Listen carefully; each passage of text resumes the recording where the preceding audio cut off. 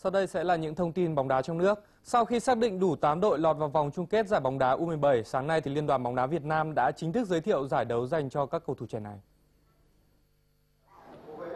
Sáng nay, lễ họp báo công bố nhà tài trợ và giới thiệu vòng chung kết giải U17 quốc gia bao bóng đá Cúp Thái Sơn Nam 2012 đã diễn ra tại trụ sở Liên đoàn bóng đá Việt Nam. Giải năm nay được tổ chức tại Huế với 8 đội tham dự chia làm hai bảng A và B. Đây là lần thứ 9 bao bóng đá đứng ra tổ chức giải U17 quốc gia. Với những tín hiệu tích cực về chuyên môn sau những trận đấu vòng loại đầy kịch tính trên sân cỏ cả nước, vòng chung kết được tổ chức từ ngày 11 đến ngày 20 tháng 7 tới, hứa hẹn sẽ là một giải đấu hấp dẫn và thành công.